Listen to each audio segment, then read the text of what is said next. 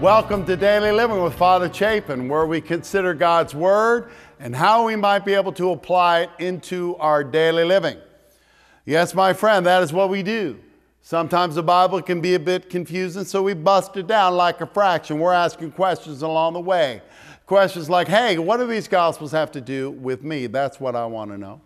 How can I take these gospels that come to me each and every week and apply them into my daily living so that I can become a reflection of God's love to a world, let's face it, don't know God for sure, and definitely is in deep need of more love, don't you think? I mean, take a look around, my friend. There's a lot of bad news bears out there.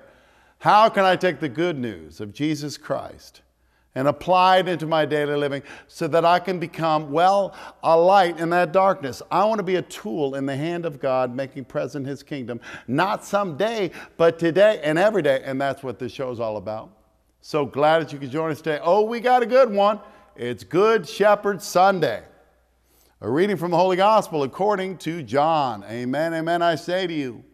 Whoever does not enter a sheepfold through the gate, but climbs over elsewhere is a thief and a robber. But whoever enters the gate is the shepherd of the sheep. The gatekeeper opens it for him, and the sheep hear his voice. As the shepherd calls his own sheep by name and leads them out. When he has driven out all his own, he walks ahead of them, and the sheep follow him because they recognize his voice. But they will not follow a stranger. They will run away from him because they do not recognize the voice of strangers.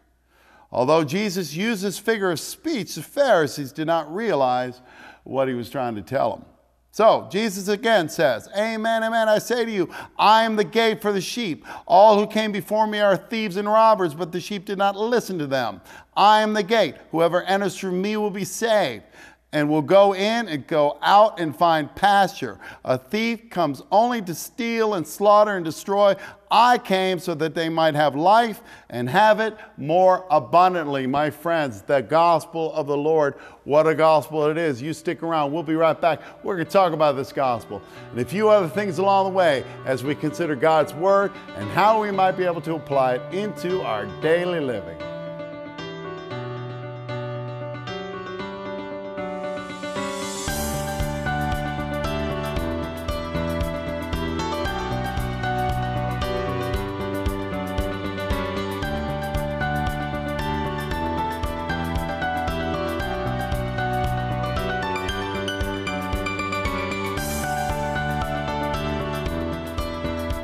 Welcome back to Daily Living. Today we're talking about the Good Shepherd. Today is Good Shepherd Sunday.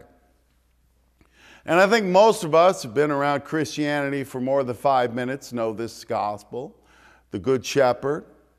The sheep are always portrayed as, well, stupid, right?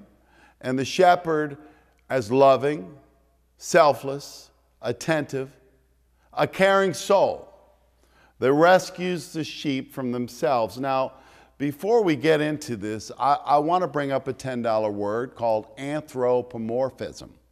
Anybody? Anthropomorphism? Do you know what that is?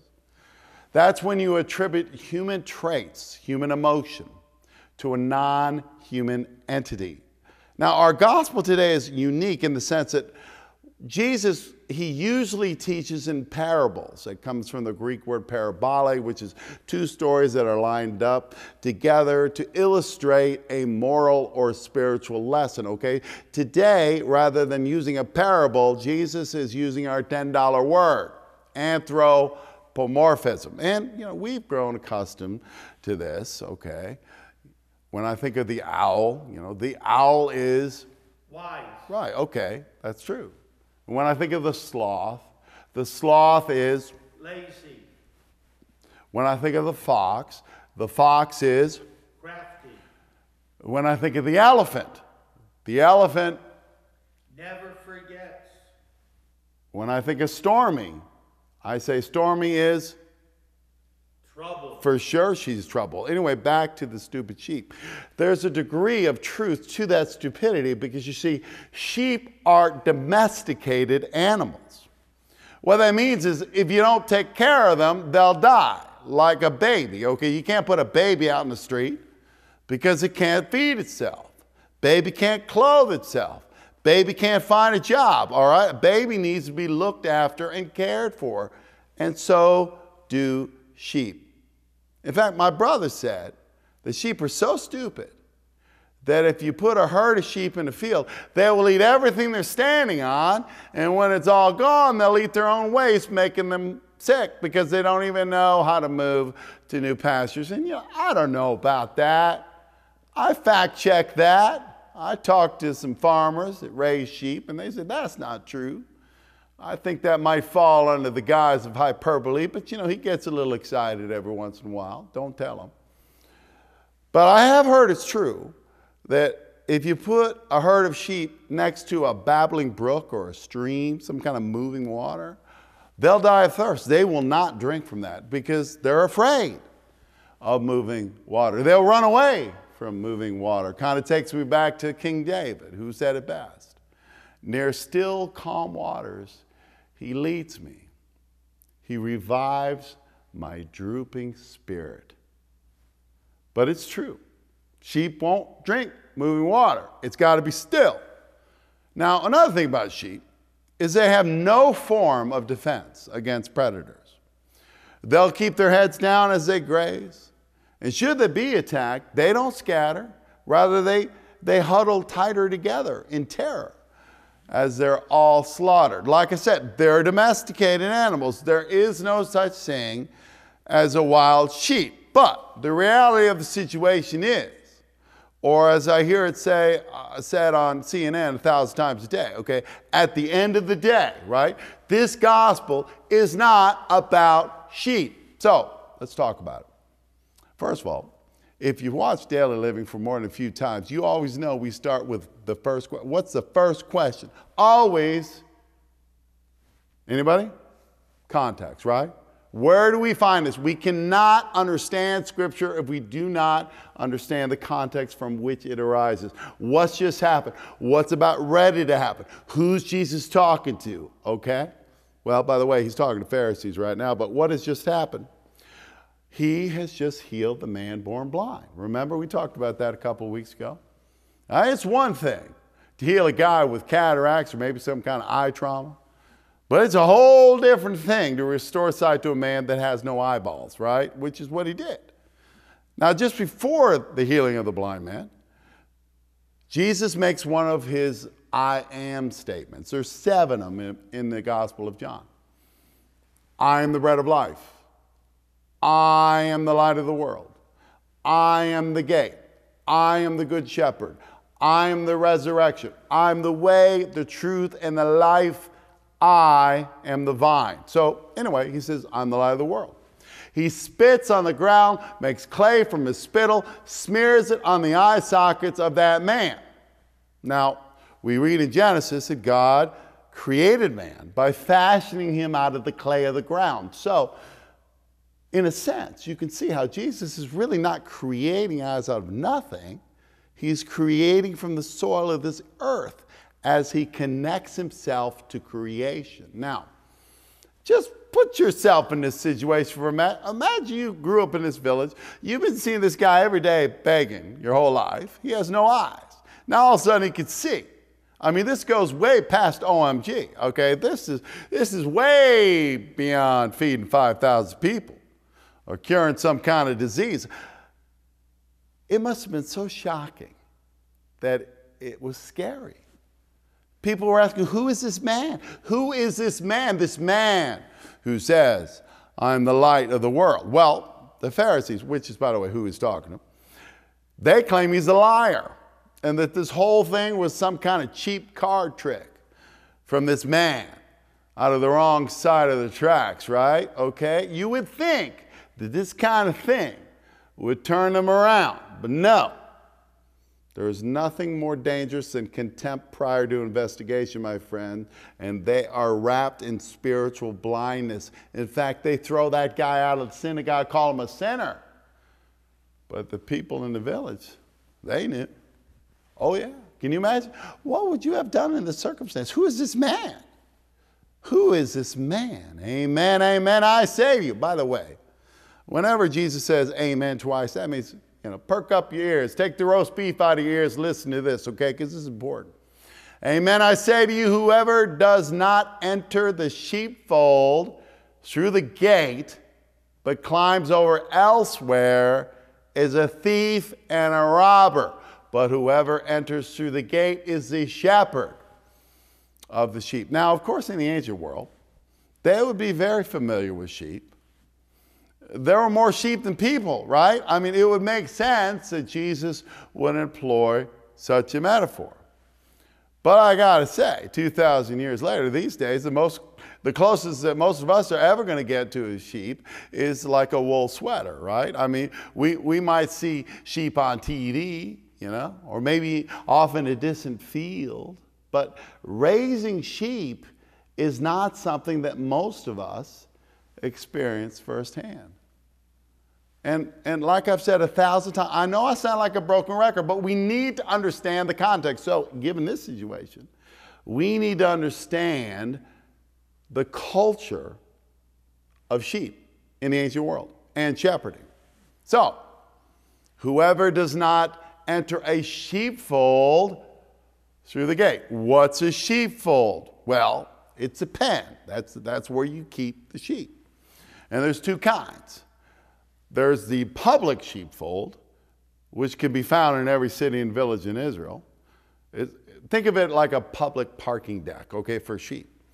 So the shepherd comes in, drives those sheep into the sheepfold, and then goes off to the local Walmart and gets supplies, or, or maybe some much needed sleep. Meanwhile, he, get, he gets a ticket from the gatekeeper that is going to keep his eye on the sheep while he's gone, kind of like valet parking. Okay, so when the shepherd returns, he will call his flock out by name because you see, the sheep know the voice of their shepherd. In fact, it was common practice in the ancient world for shepherds to get together during the day and allow their flocks to intermingle, or become one huge flock. But as evening would fall, they would spread themselves out around the flock and then call their flock out by name. Right? So the first kind of sheepfold is the public. Now, the second kind of sheepfold is the private pen, way out in the fields. Now, generally, they're much smaller. And this is where the shepherd would keep the sheep during good weather. Now, these sheepfolds were surrounded generally by rock walls with a small place to enter. And this, and this small space to enter customarily did not have a gate. So, or a fence or anything like that, or door. So when night came, and it was time for Teddy, right, for the shepherd, go sleep, he would lay down between the walls right there in that space to keep the sheep protected from any outside threat. So, in doing so, he literally becomes the gate. He becomes the door to the sheep. Amen, amen. I say to you, whoever does not enter the sheepfold through the gate but climbs over elsewhere is a thief and a robber. But whoever enters through the gate is the shepherd of the sheep. The gatekeeper opens it for him. They hear his voice, and the shepherd calls his own out by name and leads them out when he has driven all of his own out. He walks ahead of them. And the sheep follow him because they know his voice. Because you see, sheep, they ain't going to follow a stranger. They're going to run away. Run away from a stranger. Now, watch this, okay? Remember how people were asking, Who is this man? Remember? By saying, I'm the gate, Jesus is telling them who he is. I am the gate. But what does that mean, really? I mean, for us. How, how can we apply this into our daily living? I mean, can you understand how stupid sheep might miss this? Glad there's nobody like that around here. this is Daily Living. I'm Father Chapin. You stick around. We'll be right back and we will continue to talk about this amazing gospel as we consider God's Word and how we might be able to apply it into our daily living. My friends, Daily living began six years ago. We were reaching about 200,000 homes. Today, we're reaching over 50 million homes. Now, hey, I might be good, but I'm not that good. It's a miracle, and it's a miracle that can only happen with donations from people like you. We are completely 100% funded by donations from people like you. So the bills are coming up. We don't wait for the bills to come up before we ask. If you would like to help us continue to try to bring the good news to a lost world, I would ask you to prayerfully consider a gift to Daily Living, tax deductible. You can either go online and donate at mydailyliving.com or send a check to Daily Living, 325 West Main Street, White Sulphur Springs, West Virginia, 24986. Thank you for being a partner. And what do you say we get back to the show? Welcome back to Daily Living. Now, just for the break, we were talking about how Jesus is answering that question Who is this man? Who is this man who claims he is the light of the world? By saying, I'm the gate. He is answering that question. I am the gate. What does that mean? How can we apply this into our daily living? How?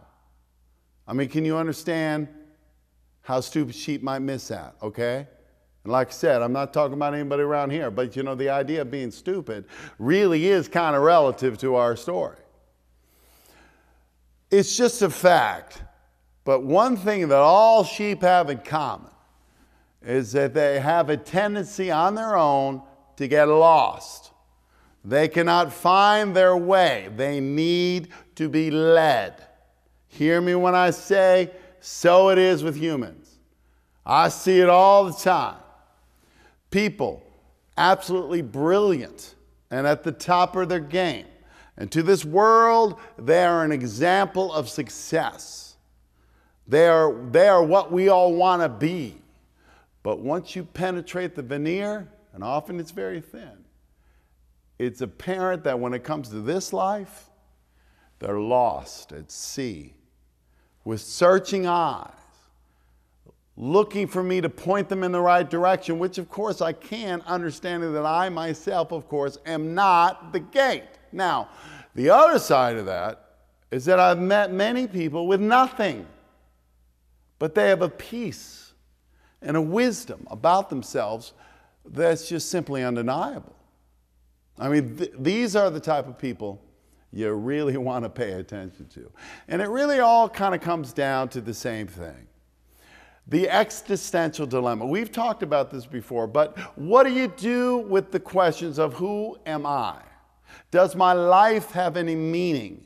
Where did God go? I mean, we all wrestle with these questions at some point of our life because you see, we all have this innate restlessness. It's almost like we're supposed to be somewhere else, but we're just not exactly sure where that somewhere else is and what that somewhere else is. And, and, because of that, we have this feeling of, of anxiousness. You know what I'm talking about? You know, we're just, we're just not sure. And it all stems from the fact that you, my friend, were made by God, and you were made for God. And your heart will not find its rest until it finds its rest in God. Now, I didn't make that up, okay? That, that's St. Augustine. That is so true.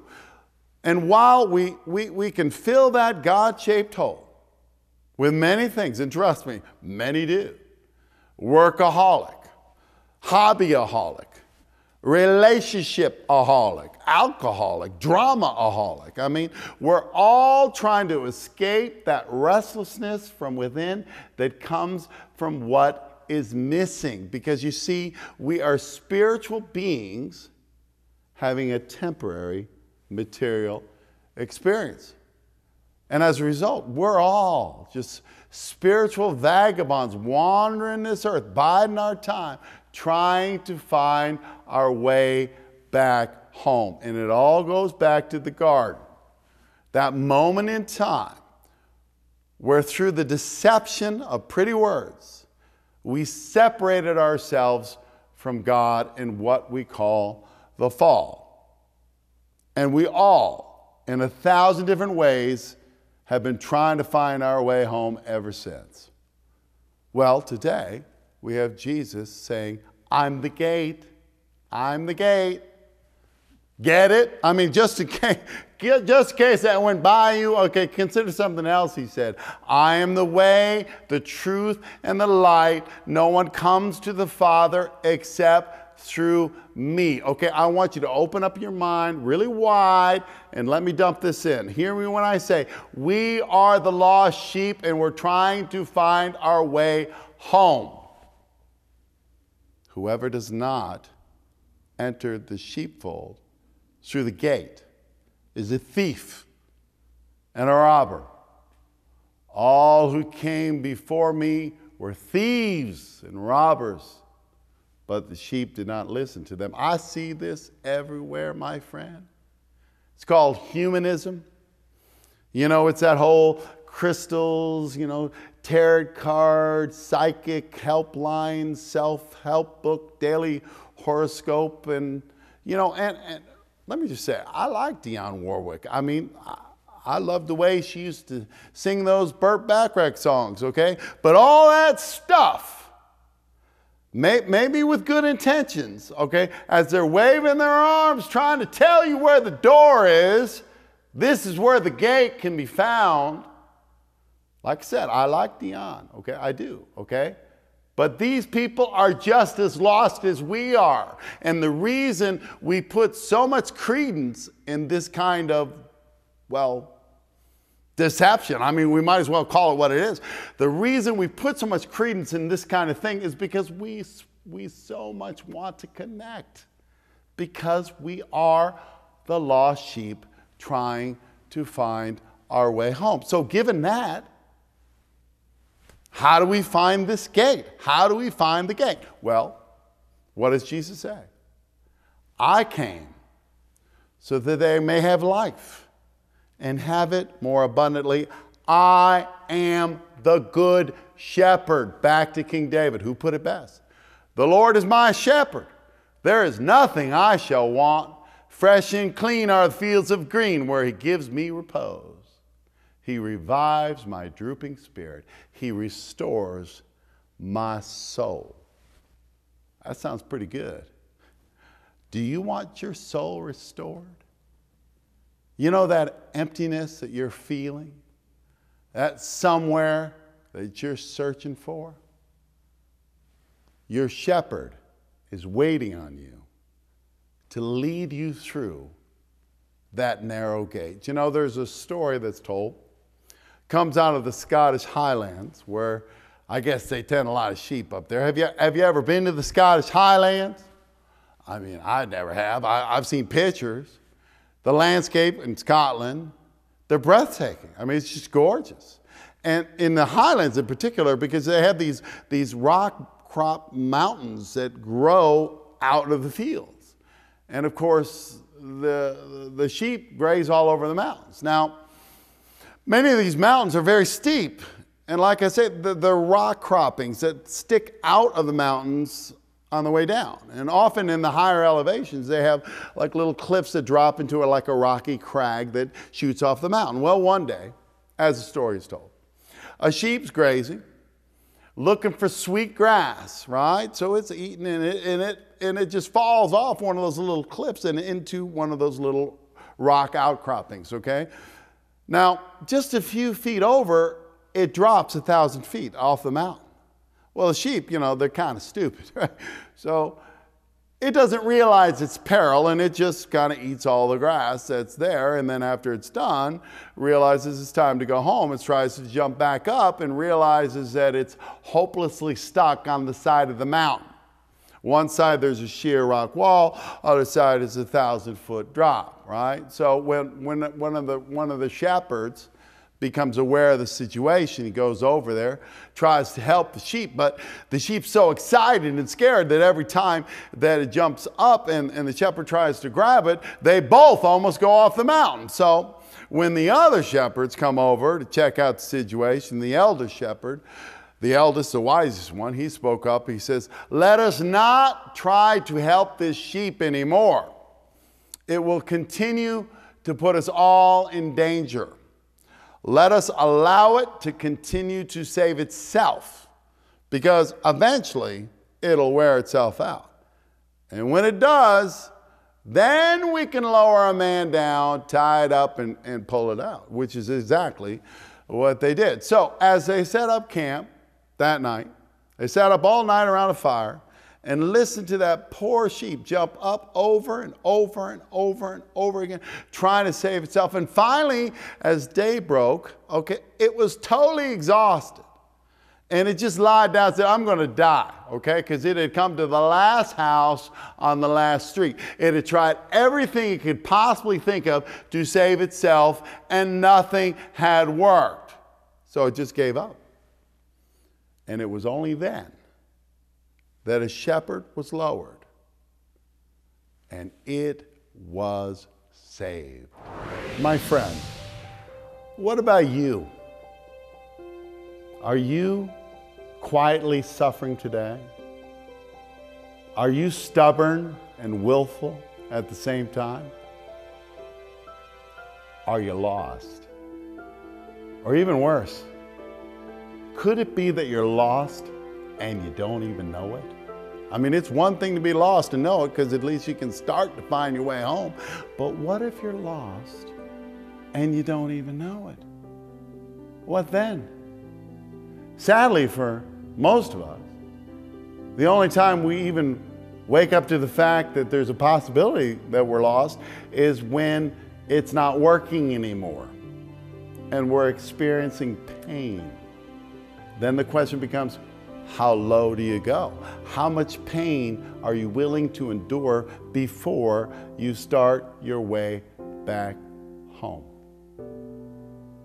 Have you had enough pain? I invite you today to look for your good shepherd. Do you hear his voice? Maybe it's quiet, but do you hear it? He's not hard to find.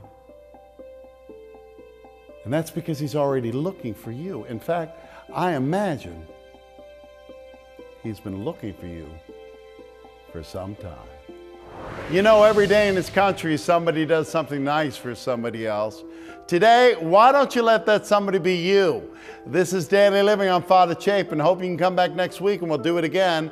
Until then, I hope you let God live in your life. And I bless you in the name of the Father and of the Son and of the Holy Spirit.